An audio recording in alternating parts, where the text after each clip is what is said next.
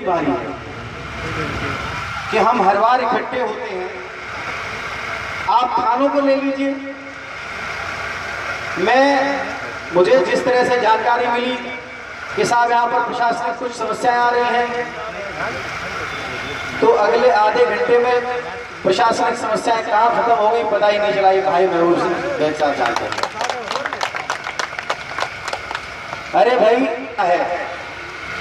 आप देखिए हर बार ऐसा होता है कि लोग विधायक बनने के लिए मेहनत करते हैं, सांसद बनने के लिए मेहनत करते हैं, मंत्री बनने के लिए लाइन में खड़े रहते हैं।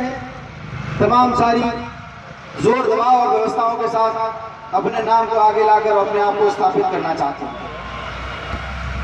लेकिन सबसे बड़ी शिकायत हमें यह है कि आज तक पिछले सड़सठ अड़सठ साल की सरकारों में हम हर बार एक आदमी को संसद में भेज देते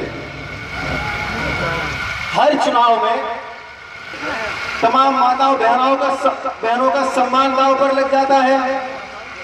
जब चुनावी माहौल बनता है तो हर बार कोई ना कोई हर एक जगह से बलि चढ़ता है। क्या वो सांसद क्या वो लोग जो संसद में जाकर बैठ जाते हैं, जाते ही 24 घंटे में अपना रंग बदल देते हैं। चुने जाने से पहले हमारे दर्द की बात करते हैं। चुने जाने से पहले हमें अपने अपनेपन का एहसास दिलाते हैं। हमारे दुख और दर्द में शामिल होने की बात करते हैं। लेकिन उस वातानुकूलित संसद में जाकर क्या हमारे इस गर्मी के पसीने को भूल जाते हैं? बड़ी समस्या और सबसे ज़्यादा अपराध उपजता है तो सबसे पहले थानों से उपजता है। आज तक किसी ने भी थानों पर कमर नहीं कसी। मैं आदरणीय उत्तर प्रदेश के युवा मुख्यमंत्री श्री अखिलेश यादव का धन्यवाद देना चाहता हूँ कि उन्होंने गरीबों के मेला का मुझे अध्यक्ष चुनकर मुझे मौका दिया।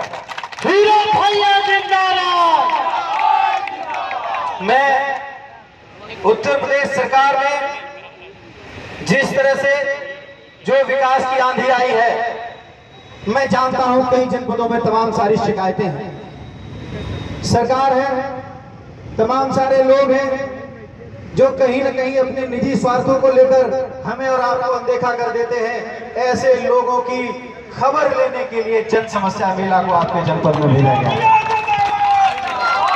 मैं आप लोगों को यह विश्वास दिलाता हूँ कि जितनी भी शिकायतें यहाँ से ले जाऊँगा बहत्तर घंटे के अंदर उन पर कार्रवाई करवाऊँगा उनका असर दिखाना शुरू करूँगा।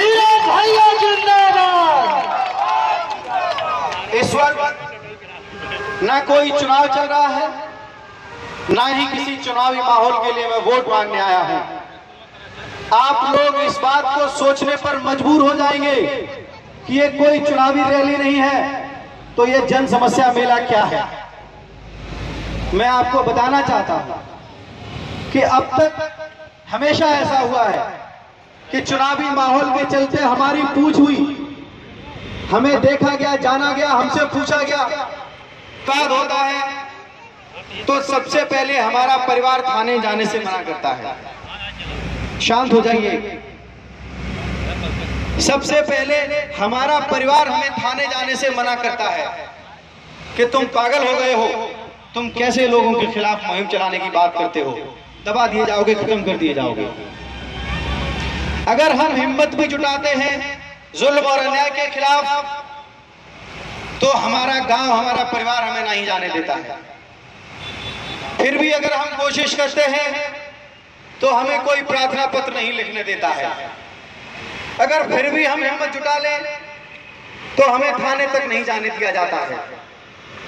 फिर भी अगर एक नौजवान अपने गर्म खून को बेकाबू करता है और जुल्म और अन्याय के खिलाफ आवाज़ उठाने की बात करता है, वो थाने पहुँचता है तो एक सिपाही इन नज़रों से देखता है कि जैसे किसी कलेक्टर से मुलाकात हो गई हो थाने में। कौन हो भाई तुम? तुम हमारी सुरक्षा, हमारी हिफाजत के लिए रखे गए थे। आज तुम हमारे रक्षक रक्षक बनके हमारा जो है भचड़ करने लगे।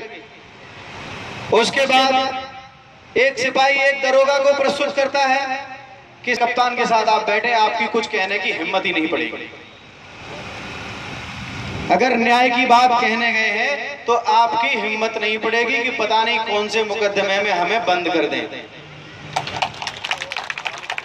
क्या ये सही है? आप एक बात बताइए मैं आपसे पूछना चाहता हूँ कि अंग्रेज़ों के जमाने से चला आया पुलिस एक्ट आज तक आखिर क्यों नहीं बदला जा रहा है? अंग्रेज़ी हुकूमत चली गई, देश बदल गया, लोग बदल गए, तमाम तरह की हर सारा पूरा सिस्टम बदल गया, लेकिन अंग्रेज़ों के जमाने का चला आया, हमारा आज तक पुलिसिया मार क्यों नहीं बदला? हमारे किसी नौजवान भाई पर जब लाठी बजती है, जब उसका सर फोड़ दिया जाता है तो हमारे अन्य साथी तमाशा देखते हैं कि देखो साला फलाना आदमी पिट कर आ रहा है। ये क्यों? ऐसा नहीं होना चाहिए। हमें थाने में न्याय क्यों नहीं मिलता? क्योंकि हम खुद एक दूसरे का अपमान देखना चाहते हैं। हम खुद अपने गाँव और अपने बिरादर और अपने भाई, अपने जाति, अपने धर्म के आदमी का अपमान देखने में हमें आनंद आता है। ऐसा नहीं होना चाहिए। अगर एकजुट होकर, यहाँ तो बहुत ज़्यादा लोग